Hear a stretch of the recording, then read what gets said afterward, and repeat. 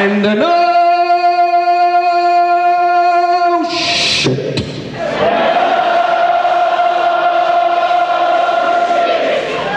And no shit.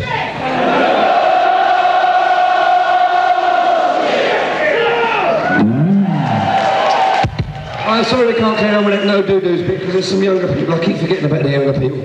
It's a terrible thing. You see a little one down and you go, no, shh, forget about them. Sorry about that. Everybody's got parents. Mean, you've got parents, some of you, I suppose. I remember what that was like. Um, I'm just going to say that much. It's my bit, not yours. Thank you. Oh, you all right? Cocky shit. Good night. Thank you.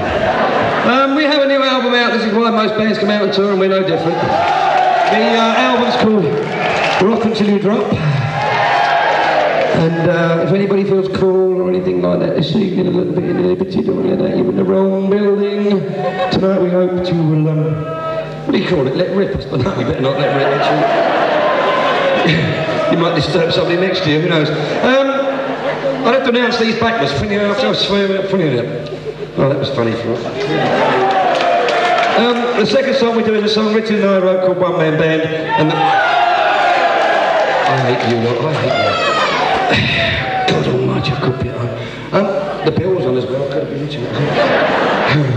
no, it's finished, is it? Fine. This is a thing called Like a Zombie.